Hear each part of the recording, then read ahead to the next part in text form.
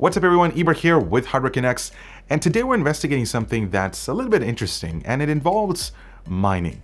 Now, before you start throwing away your keyboards, mice, or cell phones at me, hear me out for a second. I'm completely aware of how cryptocurrency has affected the GPU market.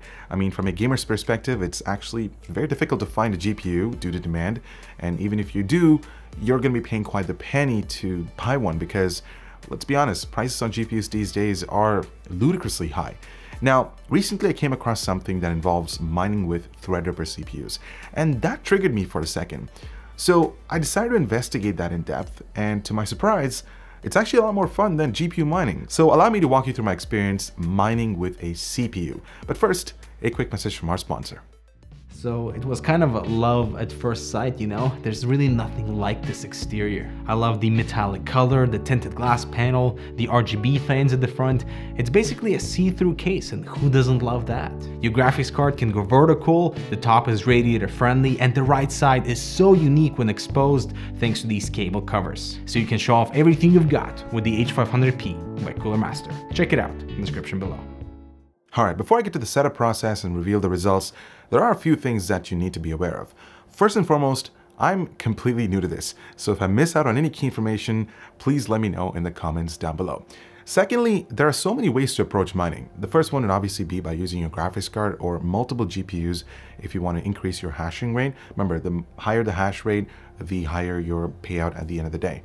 Um, now, if you want to take things to the next level, you can actually use your smartphones to mine. I'm not kidding. There is an algorithm specifically designed uh, to mine on your CPUs, uh, actually on your smartphones, because it can take advantage of the ARM processor that's built inside your smartphones. I think the currency that it mines is Electroneum, and it uses the CryptoNight algorithm, which is what we'll be working with, but not on the cell phone, on the Threadripper processor. So uh, I would never mine with my phone, by the way. I, I just wouldn't because this is, no, no, just no. Actually, why I wanted to do this was to see if these new algorithms and processors could at least compete with GPUs in some way. So let's see how that looks. Remember, each cryptocurrency runs off a specific algorithm. For example, Ethereum runs off the ETHASH algorithm, Litecoin runs off the Scrypt algorithm, uh, and in our case, we're going to be mining Monero using the CryptoNight algorithm. CryptoNight was designed initially to take advantage of the CPU resources, and it requires about 2 megabytes per instance, uh, meaning it fits in the L3 cache per core on modern processors. Now, interestingly enough, the Threadripper 1950X and the 1920X feature a whopping 32 megabytes of L3 cache. That means, theoretically, the mining workload can be spread across 16 threads at 2 megabytes per thread, which is the optimal requirement for the CryptoNight algorithm. This would then leave us with an additional 16 threads to play around with while mining Monero. For instance, you can browse the web, watch YouTube videos, heck, even edit a video, which is pretty awesome. Setting up the software is actually pretty straightforward. All you have to do is download the XMR-Stak zip file from this GitHub link, and I'll make sure to leave this link in the description down below. Next up, you extract the folder and run the xmr-stak.exe application as admin and follow the on-screen prompts. I actually decided to take a different approach to this by editing the config text file that was initially generated after executing the application because by default, this program configures the CPU and the GPU for mining, and I ran into some issues using both. So here's what I did. I opened up the config file and I manually entered my pool address. In my case, I was using NiceHash, and I highly recommend using this service if you're new to mining. Next up, I entered my wallet address. This is something that's custom made and designated to your NiceHash account. The pool password by default is set to X. I'd leave it as is. And finally, make sure to set the value of use underscore NiceHash to true. The last thing you want to do is rename the XMR-Stak CUDA.dll file to something else if you're using an NVIDIA GPU or if you're using an AMD card, uh, rename the OpenCL file. This essentially allows the program to skip reading the GPU and head straight into using CPU resources for mining. Once that's done, you run the application as admin and give it a few minutes to connect to the pool service and you'll automatically witness the results. What we're looking for here is the hash rate. So the higher the hash rate, the higher your Bitcoin payout would be at the end of the day. Now, to put it in simple terms, uh, I'm basically selling my computer's hashing power to generate uh, or to solve different mathematical equations, which then creates new cryptocurrencies. And in return, I get paid in Bitcoins. At least that's how NiceHash works. Now, I'm not really sure how other pooling services approach this, but um, definitely put in the time to do your own research if you decide to use a different service. As for hardware, I'll be using AMD's 1950X 16-core 32-threaded processor, uh, an ASUS Zenith Extreme X399 motherboard, 64GB of Corsair's Vengeance RGB memory, a GTX Titan Xp, and Be Quiet's Dark Power Pro 11 1000 watt 80 plus platinum rated PSU. I did run these tests at stock settings, meaning I haven't done any overclocking with the CPU and the memory. I'll be comparing the results from the 1950X to Intel's Skylake X's offering, uh, namely the 18-core i9-7980XE Extreme Edition processor and the i9-7900X 10-core processor. What's interesting about these Intel CPUs is the amount of L3 cache they feature. Take this 18-core for example. This CPU has 24.7 megabytes of L3 cache, and when you run the CryptoNight algorithm, each core within the 7980XE CPU would start fighting for the L3 cache bandwidth, hence resulting in a lower hash rate when compared to the 1950X, which AMD has graciously given it 32 megabytes of L3 cache. So the application spreads it evenly across 16 threads, and as a result, you get a much higher hash rate, which in my case was around 1300 hashes per second when compared to 877 on the 18 core. And just for kicks, here's how the 7900X performs. Now another thing to take into account is profitability because if you decide to get the 1950X just for mining, you want to make sure that you get the proper ROI at the end of the year. Not to mention this includes power consumption and how much you're willing to pay every month or every year uh, just so you can make a few extra bucks by selling the hashing power on your PC. The first thing to calculate is the cost to run the system on a daily basis. And for that, I'm going to be using a simple formula. You take the energy in kilowatt hours that your system draws, multiply that by the cost you pay per kilowatt hour, which gives you the cost to run the system per day in a dollar figure. Let's start with the 1950X. The total power draw from the PC was around 180 watts while mining. Multiply that by 24 hours, convert that to kilowatt hours, then multiply that by the cost. In my case, I chose 14 cents USD per kilowatt hour, uh, but this can vary significantly depending on where you live. As a result, we get roughly 60 cents per day or $18 per month. And here's how much power the Intel CPUs consume.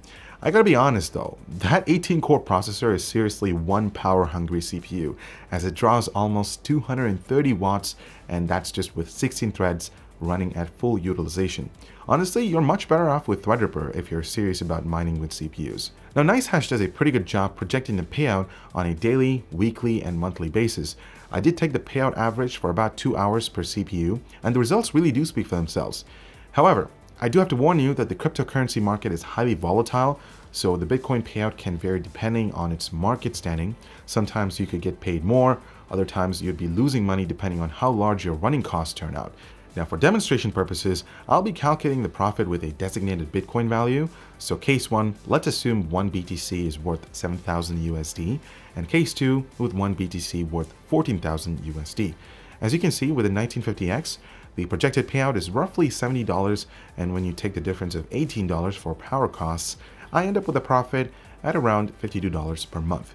Calculating case 2 with the 1950X yields us with a profit of around $122, I did the exact same analysis for the Intel CPUs, and just as expected, the profit doesn't seem to justify the investment, especially with the 18-core $2,000 i9 CPU. Take case 1 for instance. With a Bitcoin value of 7,000, the estimated profit is around $23 per month, and the 10-core i9 7900X just doesn't make any sense for mining. Case 2 looks reasonably favorable to both Intel CPUs, but then again, you're much better off with AMD's Threadripper 1950X since it proves its efficiency for mining. And remember, we're calculating these profits based off an assigned static value for one Bitcoin. So if you're interested in mining with your Threadripper CPU, know your risks before investing because quite frankly, uh, cryptocur this cryptocurrency market is highly volatile. It can it can crash. You never know. It's totally unexpected. It's not consistent. So yeah, I would definitely uh, understand. Uh, just definitely know what you're going to invest in, and and then move on from there. Another thing that I'd like to reiterate is the fact that we're not actually mining bitcoins uh, because I don't think that's quite frankly possible at this point because uh, it is quite difficult to do that. Essentially, what we're doing is we're using our hashing power to uh, mine new cryptocurrencies. And the pool service that we're using, in this case NiceHash, is paying us back in Bitcoins. Now, you could use your GPU to mine cryptocurrencies. I think the most profitable cryptocurrency to mine is Zcash, uh, but again, that's totally varying depending on an hourly basis. Uh, but there are other alternatives. Another thing I need to point out is the ROI, because if you're just planning to invest on these high-end components just for mining, it'll definitely take you at least two years or maybe even more to cover the cost for the hardware initially. So do keep that in mind. With that being said, I decided to compare profits to a GTX 1080 Ti. I used the NiceHash calculator to get the average BTC payout per day, and then I did the exact same case analysis by factoring in the power costs, which by the way are significantly higher than the Threadripper CPU. So under load, the total system power draw for the 1080 Ti was around 290 watts. And when you do the math, it really isn't that profitable when compared to the 1950X. Quick disclaimer though, these numbers for the 1080 Ti were based off mining Zcash rather than Monero, and these are just estimates. Nothing exactly is consistent. And those of you who are wondering if it's possible to use all 32 threads on a Threadripper CPU to mine Monero, uh, it's definitely possible, but it's not ideal. So for instance, uh, if you do want to set all 32 threads, all you have to do is go into the uh, cpu.txt file, and uh, reassign or set the threads in numerical order. So in this case, you would do 0 to 31 uh, to give you, you know, all 32 threads, and then you save the text file, and then you run the program, which then utilizes all 32 threads. But the problem is that the hash rate as, as a result is significantly lower than using 16 threads or even uh, 24 threads. And the reason for this is that all 32 threads are fighting for that L3 cache bandwidth.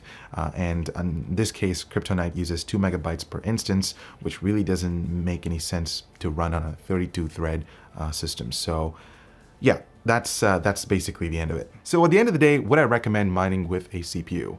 Honestly, if you own a Threadripper based system, I think you should probably consider it because, say, for example, you're starting up a business uh, and you're working in a studio space, uh, you could potentially mine with your 1950X 16 core processor while also doing other tasks like browsing the web, doing productive things, or you know editing a video because you've got 16 threads to work with. Or if your primary program utilizes all 32 threads, well, you could use your system for that, but then when you leave the studio, you can just set your system to mine uh, and then come back the next day because uh, normally the after hours season or the after hour times are a lot cheaper to run when compared to the regular nine to five hours. So there are a lot of scenarios to, to use your CPU for mining, guys, and I'd love to hear your thoughts on this. Uh, what do you think about CPU mining? Is it something that you'd be interested in? And you could actually mine with your uh, existing PC. I mean, if you have a 1920X or a Ryzen 7 1700X, uh, that's possible, you could do it, but make sure, but just understand that you're not gonna be getting the highest hash rate when compared to the 1950X. So yeah, uh, let me know if I missed out on any key information once again in the comments down below. I'm Ibor with Hurricane. Thank you so much for watching, and we'll see you in the next one.